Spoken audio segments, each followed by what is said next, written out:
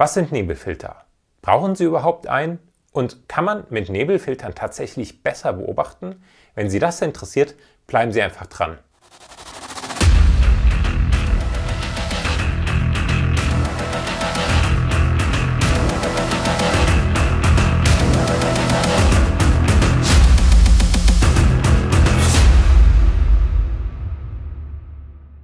Hallo im Astro-Kanal von astroshop.de. Mein Name ist Markus Schenk. Sie haben ein Teleskop und natürlich schon oft den Orionnebel und andere Objekte gesehen. Und äh, sie erschienen super zu sehen und es war überhaupt kein Problem. Warum sollte man dann eigentlich einen Nebelfilter anschaffen? Ist das nicht irgendwie überflüssig? Aus den folgenden drei Gründen eben nicht. Oft erscheinen die Nebel eher schwach oder eben kaum sichtbar auch weil das Streulicht in der Umgebung zu hoch ist. Und der Kontrast ist manchmal so niedrig, dass der Nebel konturlos wirkt mit zu wenigen Details. Bei all dem kann ein Nebelfilter Abhilfe schaffen. Ein Nebelfilter ist nicht einfach eine Glasscheibe. Im Gegenteil, besteht aus vielen hauchdünnen Schichten, die in einem komplizierten Verfahren aufgedampft wurden. Das macht man aber sicher nicht nur so aus Spaß, sondern aus bestimmten Gründen.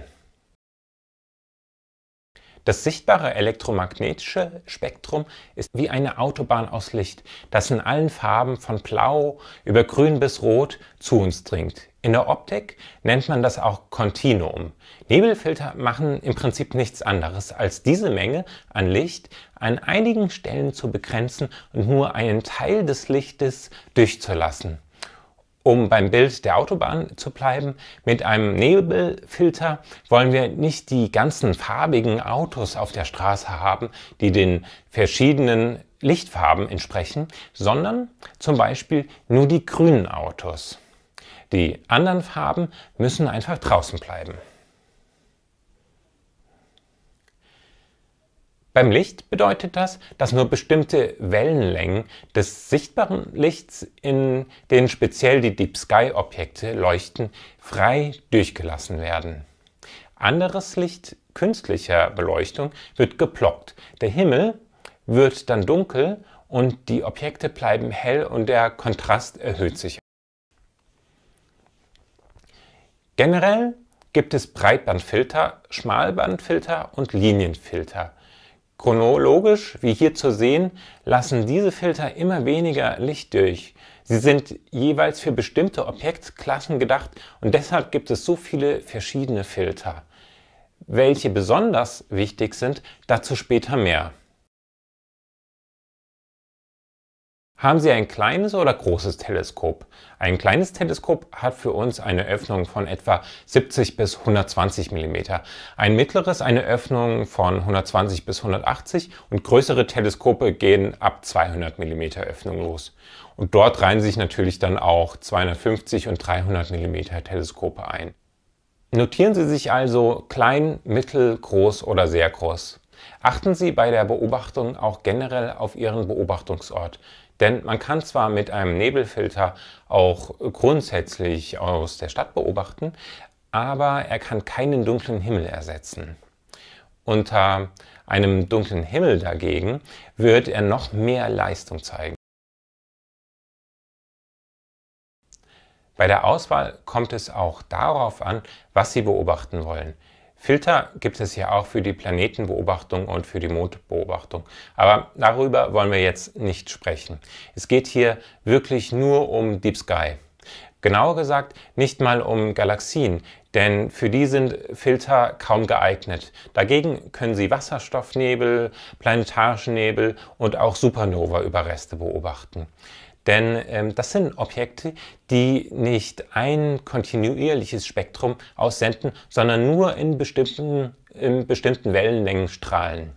Fragen Sie sich, ob Sie besonders daran interessiert sind, Nebel zu beobachten, Spaß daran haben, Details zu erkennen und sie intensiv zu beobachten.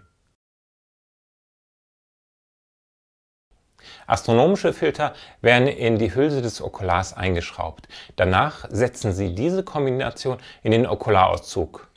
Das im Auge ankommende Licht ist dann gefiltert.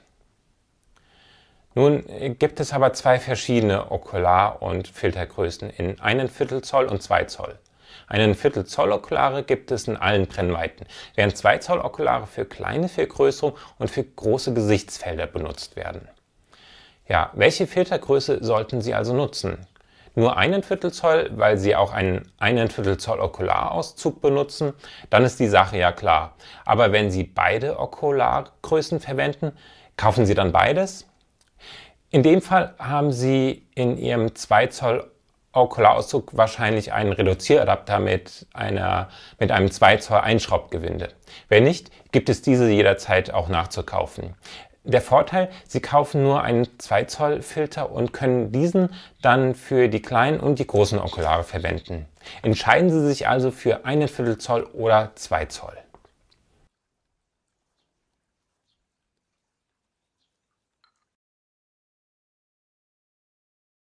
Egal welcher, ein Nebelfilter ist dafür geeignet, um das Streulicht zu minimieren und den Kontrast am Objekt zu erhöhen.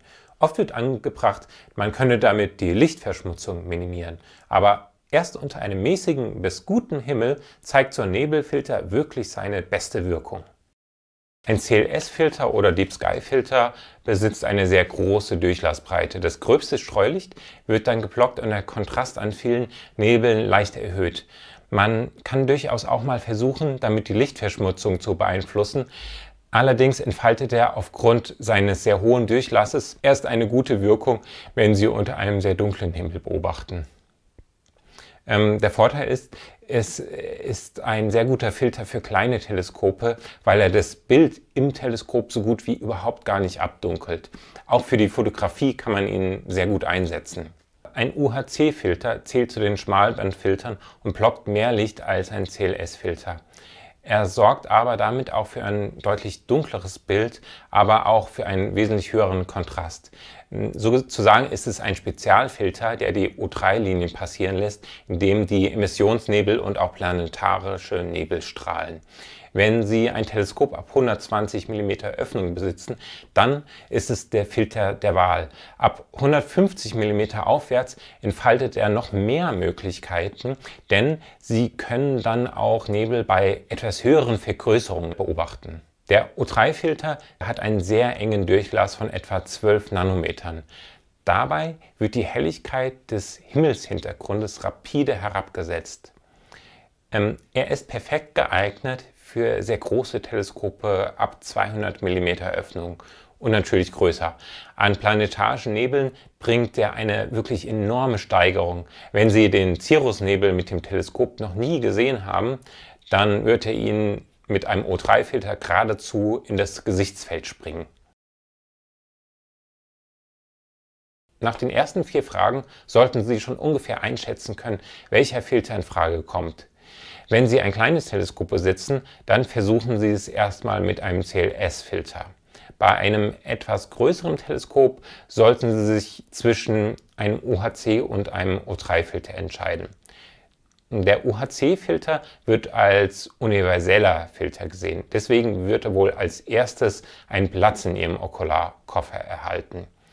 Aber achten Sie beim Kauf auf die Filterkurve können Sie erkennen, dass der Filter auch die wichtigsten Wellenlängen von 486, 496 und 501 Nanometern durchlässt? Ist die Filterkurve beim Filter überhaupt veröffentlicht und bietet der Hersteller eine individuell gemessene Kurve überhaupt an?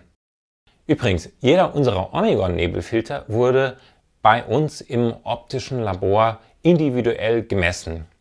Wenn Sie bereits einen Filter haben, aber wissen wollen, wie seine Transmissionskurve liegt, dann können Sie ihn auch bei uns messen lassen. Wenn Sie mehrere Nebelfilter benutzen, dann kann es manchmal lästig sein, einen nach dem anderen einzuschrauben. Eine geniale Lösung ist ein Filterrad, das Sie einfach mit Ihrem Filter bestücken. Dann können Sie innerhalb von Sekunden zwischen den Filtern wechseln. Vielen Dank fürs Zuschauen, eine schöne Zeit und beobachten Sie gut.